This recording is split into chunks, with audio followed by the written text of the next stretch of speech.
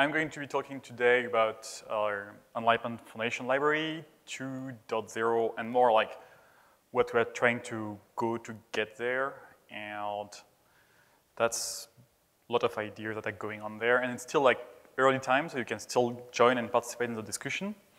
So I am Cedric Bail. I'm working for Samsung open source group uh, in Mountain View, and I've been working on EFL for more than a decade now, I think. Uh, time pass. Um, and so for people who don't know what EFL is, I will just go quickly over what it is. It's a, a toolkit created for Enlightenment 17. Uh, Enlightenment 17 has been like a long coming project. Uh, it was started in 97 and it only was released in 2011 if I remember correctly. Uh, and the reason it took so much time to do a window manager uh, is because we didn't just fully rewrite it, but we also write a toolkit to make it possible. And uh, we designed this toolkit for mostly our need and what we were thinking of what was going to be the future or when we started, and it was embedded device.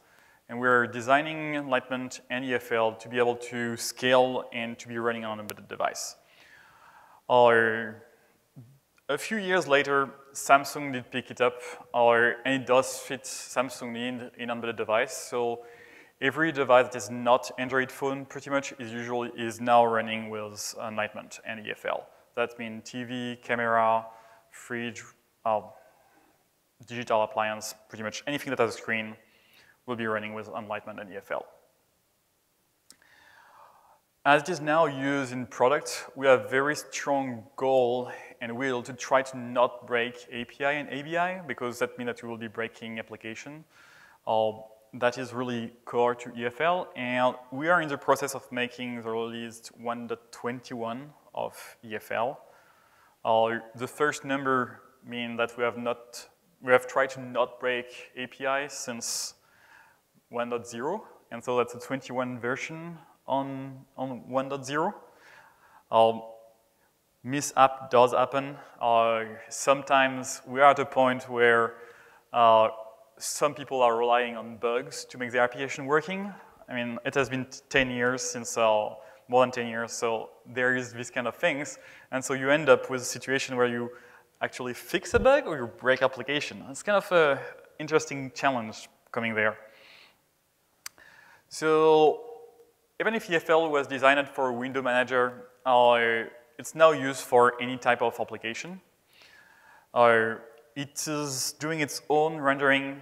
It has its own scene graph, and this scene graph has been developed over more than a decade, so it's one of the most optimized one you can find.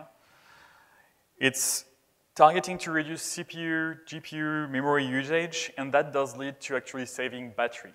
The optimization, I mean, you are pushing 60 frames per second, you're not going to be seeing more than that. But the battery usage is going to be something you will notice. So once you are fast, that's good, but the next step is also to be efficient on the energy usage of your stack which is um, one of the things that we have been spending in the past uh, few years uh, working on EFL. Obviously, you need international support. That means being able to support uh, left to right, right to left, UTF-8, or translation and all of these things. So that's part of the toolkit. Uh, you need to be able to scale. Uh, that means scale from number of CPU, from screen, from GPU, without GPU, with input device of all kind of form and shape with different precision and latency. And so we do have a lot of code to handle all these variation uh, in the toolkit itself.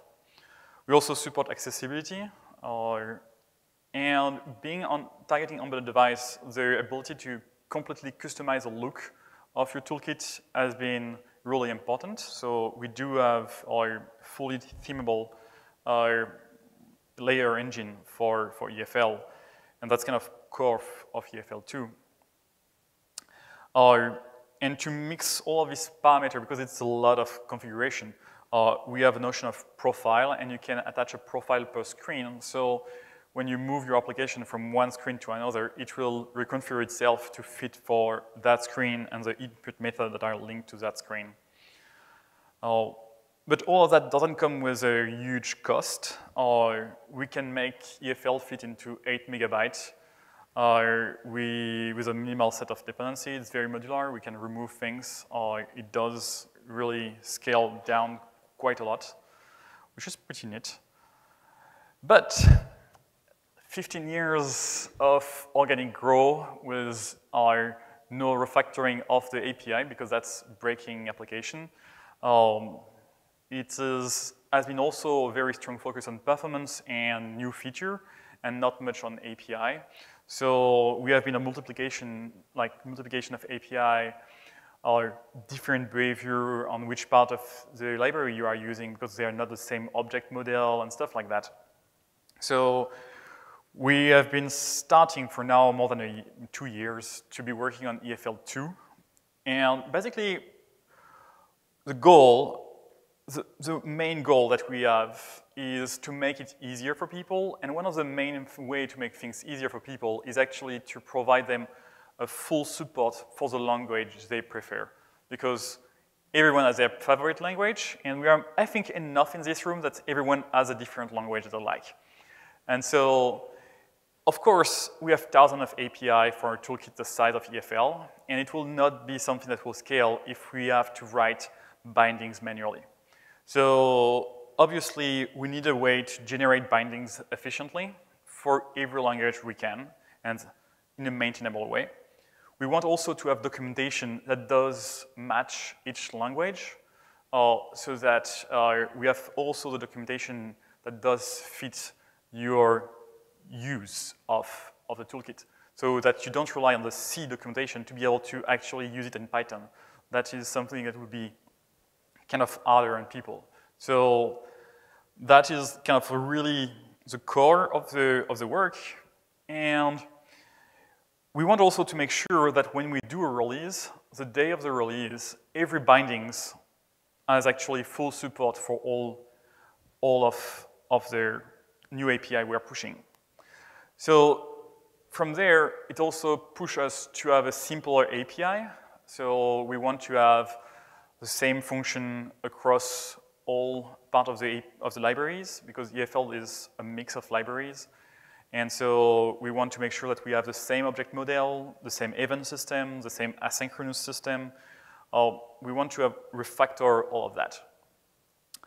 And we want to do that by also being, I mean, we're in 2018 now. We want to be a little bit more modern uh, and do proper lifecycle support and make sure that the lifecycle support that we have does match every binding so that they have, like in C++, you will have ARI, AII, uh, and so only reference, no pointer. Uh, we want to make sure that all of these things are available to, to you. And, oops, sorry. Uh, and so one of the big things is we realize it's a lot of work. And we cannot really release EFL 2.0 right away and say, now there is no application working anymore, and you have to just work and port your application. Other toolkit have been trying to do that, and they have huge community, and they were able to move, and it took them almost a decade. So that is not something as Enlightenment community we can actually do, because we don't have the scale. So we want to maintain, and that's very important to us, API and ABI compatibility and for as long as possible. So basically, you will be able to use the legacy API alongside EFL API, new API, in the same binary. So you can actually start migrating part of your code to the new, uh, new system without breaking the old system. And that's really core. This is mostly for C application. It might be also possible with Python because today we have really one big binding that is maintained and that's a Python binding. And so it will be neat if we can manage that also with Python. But for sure, we are doing it with C and at the C level at least, uh, your application will not be broken and you will be able to slowly migrate to the new API. Also, uh, we want to preserve our, all the benefit of EFL, our, and that means also we want to present that at the binding level. So if we were to do C++, we want to make sure that the indirection that you go through in C++ is not going to cost you anything and that you should be at the same performance level if you were in C. And uh, so I will be talking maybe later a bit more about C++ bindings uh, because that was the first binding that was actually uh, being thinked through this um, system. But we want to preserve energy efficiency, we want to preserve memory usage, and we want to preserve all scalability. Basically, everything that make EFL today, we want to preserve that, and we just want to change the entry point uh, and make sure that when you write an application with EFL, you will be able to really use all of these features, this performance that is there, uh, without making an application that will be blocking or anything. So one of the core things that we are doing is a new object model for EFL. Uh, it, we are naming it EO, but that's really just a library name. It's not really that important. It's, it's basically cleaning up all our object model uh, into one that does ref counting with parent relationship also. Uh, it's very simple, classic uh, lifecycle. We have constructor, finalize, we have our destructor, like really classic things there. Each object can uh, carry events, and all of that is our new object model. But that was not enough uh, for us to actually be addressing our bindings. So for bindings need, we came up, um, we didn't want to reinvent a new language to do uh, all the documentation of our binding generator. We didn't want to go like Vala, or uh, we didn't uh, want to switch to a new uh, language. We wanted to continue to be uh, C and then enable binding on top. So we worked on a language that is named Eolian, and that one does look like that. And it's basically kind of JSON looking like, kind of not. But the idea is that in that language, you can describe all your object property, all your function. You can provide parameters that will say each function is going to be doing what, and you also provide documentation. So I have, I have removed a lot of the documentation that is actually in the real uh, EO file uh, because it will not fit in the screen, but the idea is that the binding generator can actually read the documentation and transform that into the documentation that you expect in that language. And uh, there is already uh, uh the C-sharp binding doing that uh, because in C Sharp, people expect documentation to be in XML, and uh, so there is some automatic redo of the documentation, and that is generating uh, proper C Sharp documentation. Um, we also put into the, I was just saying just before that in EO we have objects with events on it, and so events and all of the like really all the behavior of the object is documented in the EO file. And that generates not just the binding, but also all the C boilerplate. So when you are writing a C, you, a C class, you will actually get a, a .h generated from the EO file and a .c. And when you include that into your C file, your function will be properly type checked and everything. It will be just you have a static function to implement all of the placeholders there. You will notice that the Eolian file is only about the public API. There is nothing about private function. There is nothing about like private data, nothing like that that is exposed. And you can have all the private function and private data you want outside of the EO file. The EO file is the public interface of, uh, of EFL uh, to the zero, basically. We are working on tools that are going to do automatic audit of our entire uh, EO file to make sure that we are coherent and that nothing is missing, uh, that there is no like redundant things, and that is looking quite quite well for now. We have automatic warning when we are adding new function, if we are doing something that is looking like something is already there or things like that, to just notify us early on uh, that some feature might be better expressed some other way. One of the other things that we are doing is that EFL was a bunch of library with very weird names. There was EVAS, eCore, Edje, Elementary, which doesn't ring a bell to anyone about what they could be doing. Um, so when you were a beginner, that was a really a steep uh, starting point because you really didn't know where to start from. So with the new uh, API, we're looking to start with three type of application, and you will have core, net, and UI, uh, which already talk by themselves about what each of them do. And, and that will be your entry point into the library. Uh, you will be linking to EFL Core, EFL UI, or EFL Net and you will be including EFL core on net or UI, and that's it. And you should not see anymore um, namespace that are kind of fun, but if you want to be more mainstream, uh, it's, it's required to be a little bit less creative on the naming, I think. Um, and we are also still trying to do a lot of the automatic in, uh, instantiation and create, uh, initialization of EFL for you.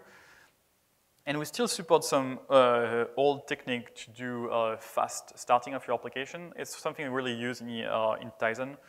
Uh, to, we basically pre-start EFL in a process pool, and when you start an application, it is right away, EFL is already initialized, and you can just in, take one of its pending process and say, launch that binary from there. And it does a little bit of magic with DLOpen uh, and manage to start the main loop from there.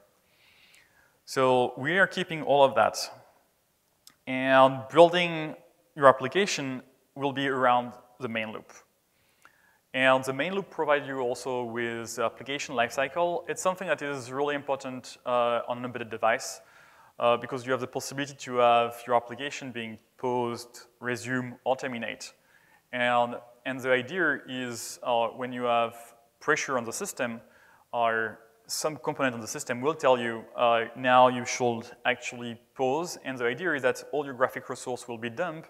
And if you have an application and you want to be more um, nicely behaving with the system, you can, for example, start to slow down the amount of time you get data from the network or drop some stuff from your memory and things like that.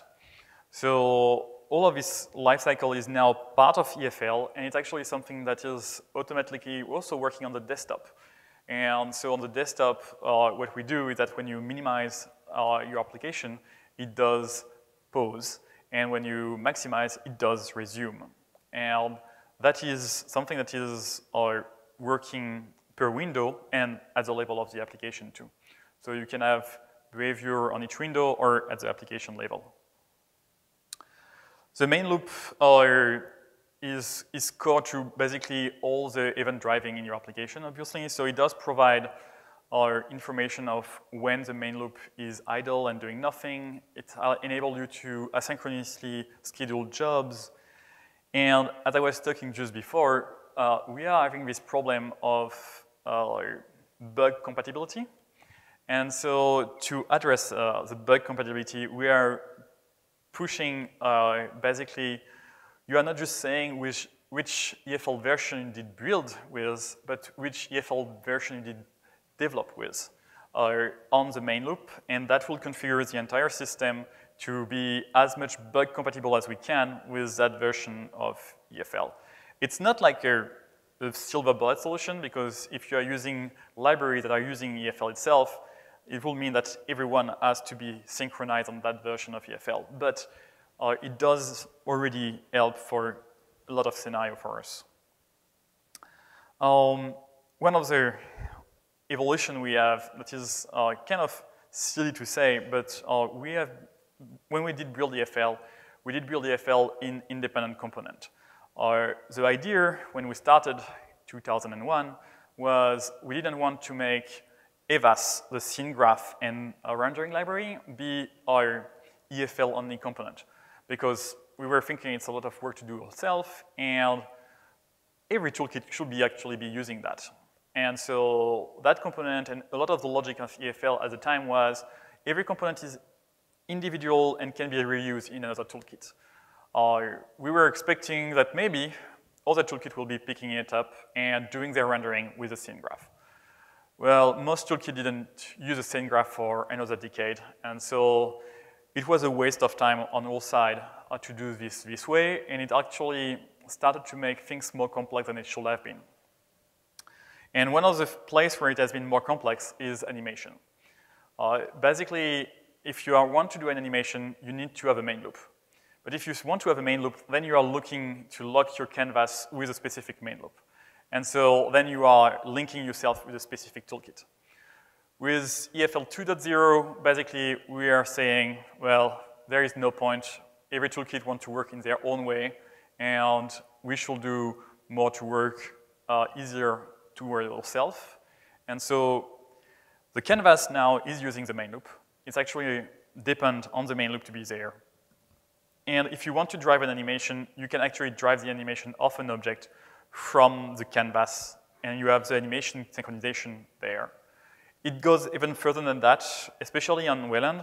Uh, the, the animation tick is per window, so it's a good thing that it's actually linked with the canvas, and so it actually allows us for optimization, where uh, we can actually make sure that we are ticking at the frame rate of the screen per window, but even if we are, for example, uh, the, the window is only visible in a small tray, this one doesn't need to be refreshed at 60 frames per second. So we can actually get Wayland to only request 30, 15 frames per second for the window. And with the new API, you are actually very easily able to get that animation tick to be completely calibrated to the system. And that leads to a lot of optimization because obviously or your animation is what consumes the most of your energy when you are doing graphics. So being able to dynamically adapt on the use case um, is also useful. So it's not just about making things simpler, but in some case, it's a real uh, improvement on, on the technical mm, uh, performance side of things. One of the problem we have with current API is that it's actually hard for people to do asynchronous work uh, because we only have events and you have race condition and you have to get all these things in the right order, right way. So we are trying to find a proper way to express a series of commands into an asynchronous way. Uh, it's still a lot of discussion there, but uh, the promised future uh, that is basically what C++ is having, JavaScript has kind of the same thing. Uh, pretty much every language today has this kind of feature uh, is something that we are starting to roll into multiple places in EFL. And that does allow you to chain command uh, step by step and not forget to unwrap an object, but do that after you have actually used the property to actually put the object at some place and so on. So that's where we are uh, on the asynchronous thing, and we really look for like chaining action because that's one of the things that is the most confusing when you are doing asynchronous things is that you have to synchronize things together and you have to do them in the right order asynchronously. So it's, a, it's not a trivial thing for a lot of people. And so we are hoping that um, this kind of pattern are going to be enabling uh, people to do things more easily. One of the big problems we had in EFL uh, was the network part. It has been very a very weird API for a long time.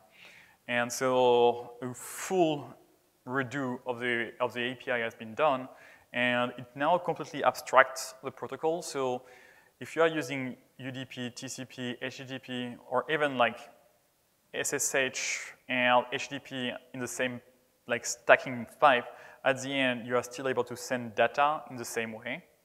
And you can actually chain all this uh, protocol one after of each other quite easily.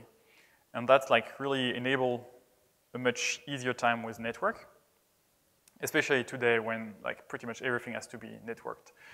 So that's a, a big change too. Uh, as I was saying, we are moving to have more meaningful name for most of our uh, for namespace.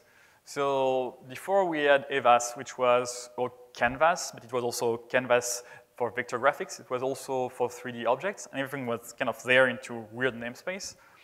So today we, have, uh, we are introducing four namespace. We have Canvas, which are for 2D graphics primitive. We have the Canvas VG, which is for vector graphics primitive. Uh, we have Canvas 3D, which is for 3D primitive. It's not like we want to do games. It's just if we want to display a small 3D icon or things like that, uh, being able to push that into the canvas makes sense, especially if you were to enable one day a 3D uh, uh, stereoscopic view or things like that. You kind of need the information at the canvas level to be able to do that automatically. So that's, that's why it's there. And then EFL UI is where all the higher level widgets are. So that's where you will find your button, your list, your checkbox, all of these um, high level widgets. And when we were doing this canvas, this namespace, uh, we realized that we have a lot of functions that are spread around all of our namespace. For example, file set. We have file set on EVAS. We have file set on every single object pretty much of elementary. And it's like, it should be just EFL file set for every object that is actually providing a file set feature.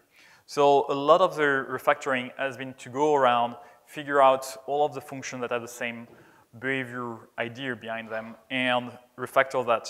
So there is a lot of, uh, of this interface that have been going all the way back to EFL namespace and have uh, this kind of uh, abstraction for you. Um, so the current state for us is the canvas part is pretty much done. Uh, EFL canvas namespace is done. Our EFL core is, there is some parts that we are not really uh, settled down on, especially regarding threading. Uh, that is an API that is not looking like we really want. Uh, there is, uh, network is pretty much done. Uh, I don't think there will be much change on that. But the EFL UI part, where we have all the widgets, is where we have a lot of work. And we kind of did a mistake there because we were thinking we can actually just wrap the old widgets with a new API and we will have things fine. But that's where we realize that some of the API have weird behavior that are borderline being bugs. And so when you start to want to fix this behavior that were kind of bad, then you realize that you are breaking the legacy API and your new widgets. Uh, and so you have conflict there. And it makes life a lot more like harder than we think it was. And it was actually way easier to do clean from scratch widgets than it was to actually rely on the old widgets. And we did spend a lot of time trying to reuse the old thing for the new one.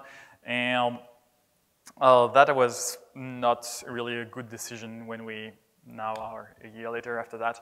It's easy to say that now, but when we were into it, it was making sense to reuse code, but now it's kind of, yeah, too much conflict. So from there, uh, we are trying to first focus uh, on making the minimum set of uh, widgets that we need for Samsung. Uh, that means providing touchscreen, uh, mobile, and TV uh, set. so typically, there is toolbar and menu that are not useful, for example, on any of these devices, but they are really useful on desktop. So for the first release, we are unlikely to have that widgets there, but it's not really a big problem, I think, because as we say, we have legacy API still working.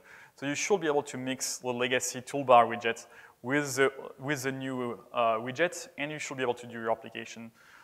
Uh, on the long term, we will be obviously uh, working on providing um, the missing widgets because uh, we want a full uh, support there. There is no point into not supporting the desktop use case. So as you understand, there is still a lot of work ahead.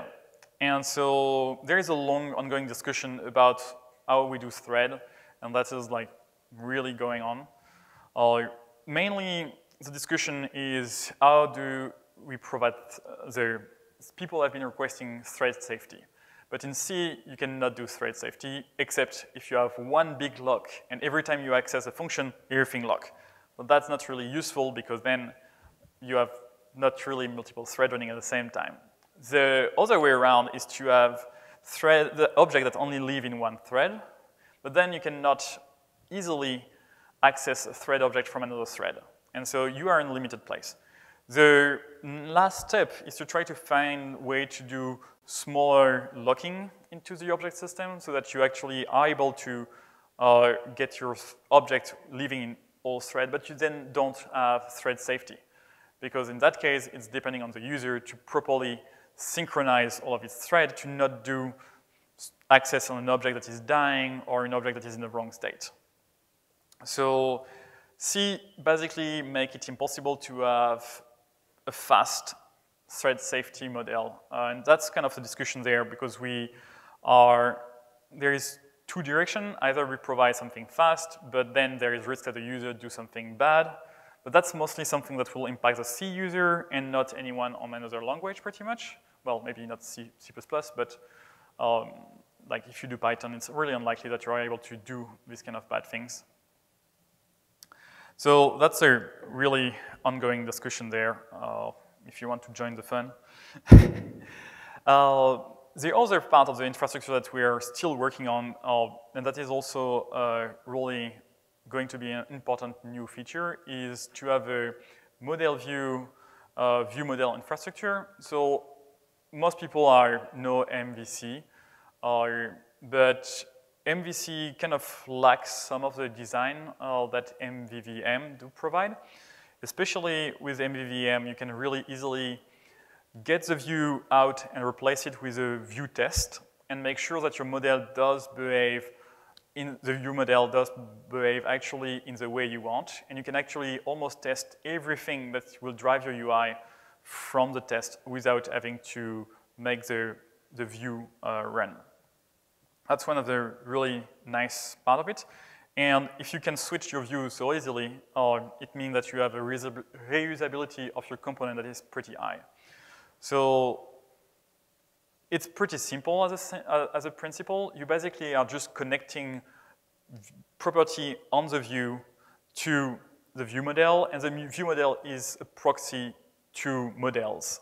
And so view model just do some of the math or basically say, oh, I need to know if this task, if this property say it's urgent, so I should send a color red. And when you connect to that property, it will actually change the color of your label to red just because the view model will have done that uh, mathematic uh, there. So that's kind of the idea. There is a lot of work to make that uh, work smoothly and provide interesting model. So we want to have all the network thing, I mean, JSON, RPC, um, uh, and whatnot. So that are like more long-term work that need to be done. Um, on the short term, uh, we have been working already on improving uh, documentation tutorials. So we already have documentation being written for C, and we have been reorganizing our website to support uh, more language for also for tutorials. So you have all the reference API that will be generated for your language in what uh, your ID expect and everything, but it will also be online on our website. And we also are trying to get space for tutorials on our website for every language we really want to make sure that whichever language you, you are using, you should be able to find an easy entry uh, and be able to figure out how things are working without having to understand how C work. Um, that's, uh, so we are reorganizing the website, the way we generate documentation, the way we maintain it. Uh, hopefully all of that work together well.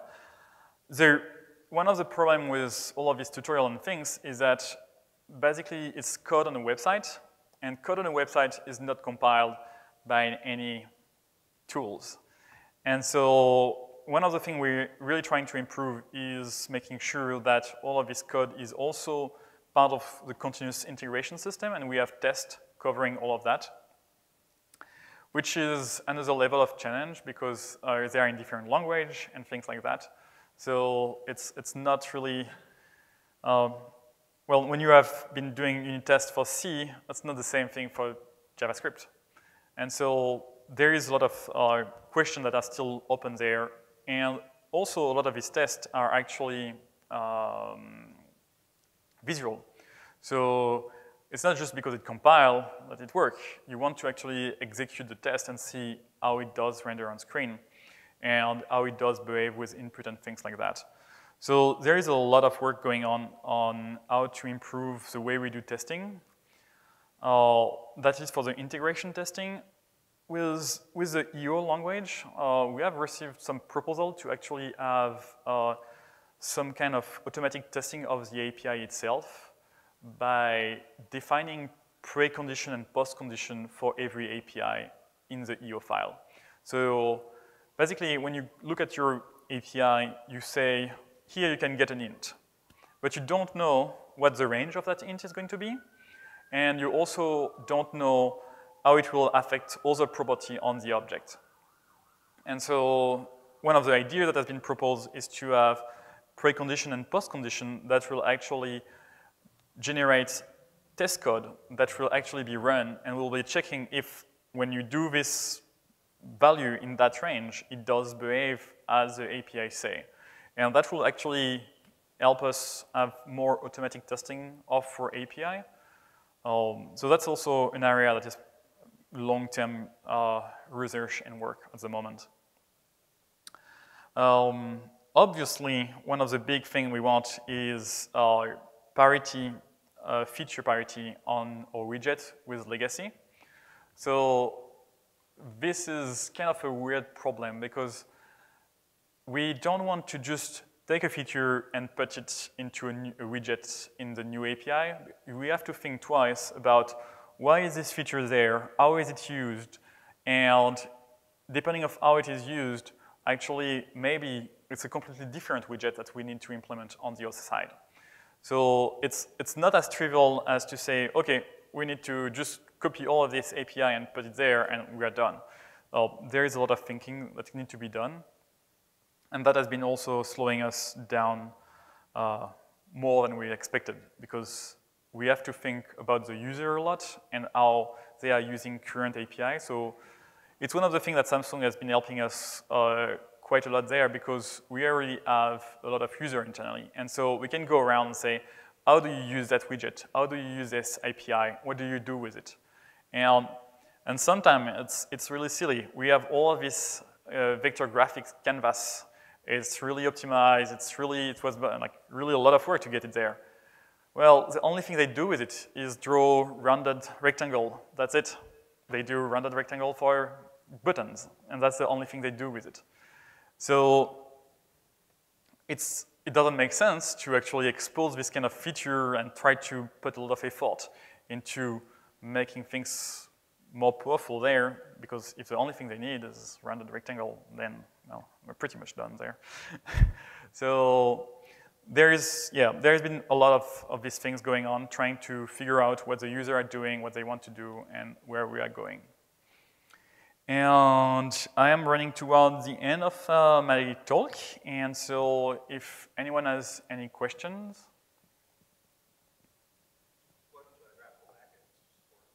Sorry?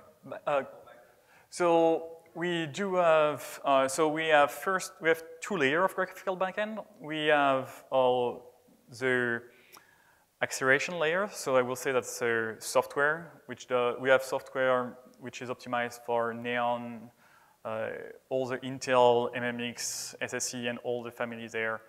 Uh, we have GL and GLES support. Uh, we don't have Vulkan at the moment there.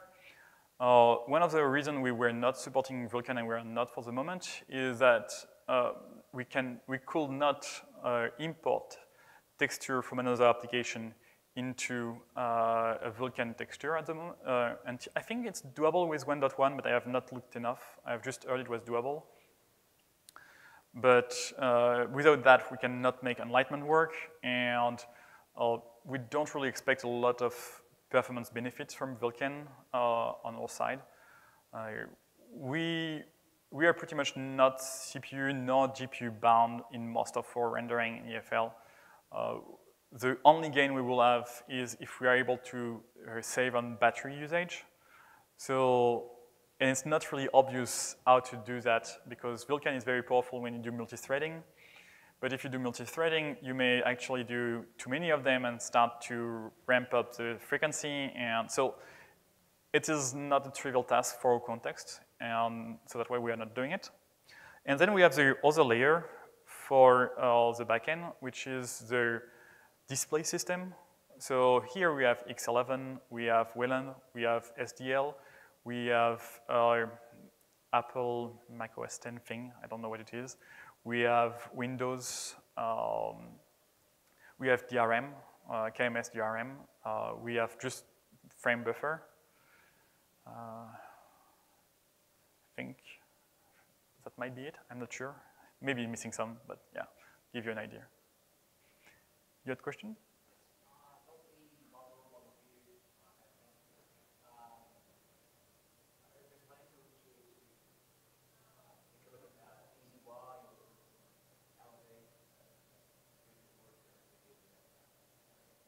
Uh, Gustavo has been pointing out a lot of uh, uh, optimization there that was, um, not optimization, design that was uh, done uh, in the MVC of uh, Elevate.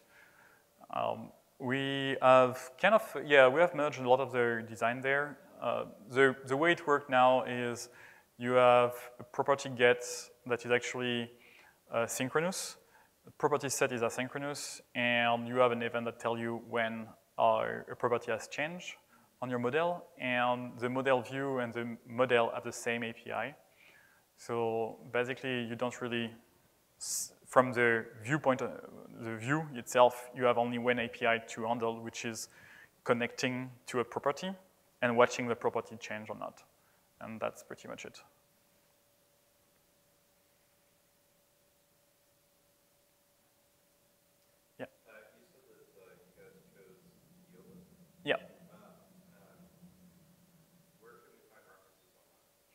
On Enlightenment website, on enlightenment.org uh, itself. It's, um, so we did look at other language and we did a survey of everything we could find and nothing was meeting our need because we wanted to be able to do, oh, I forgot about that. We wanted to generate the C++ binding as a fully static uh, header so that when you actually compile your C++ application, at the end, it only depends on the C API. And if you change anything on the system, there is no component in between. So the C++ will be basically directly using the C API without any overhead and no, uh, no code into a library in between. And to do so, uh, we, want, we needed to be able to do static generation of this header at compilation time. And we realized from that starting point that uh, we wanted our own language, uh, which is Eolian, to generate all of that.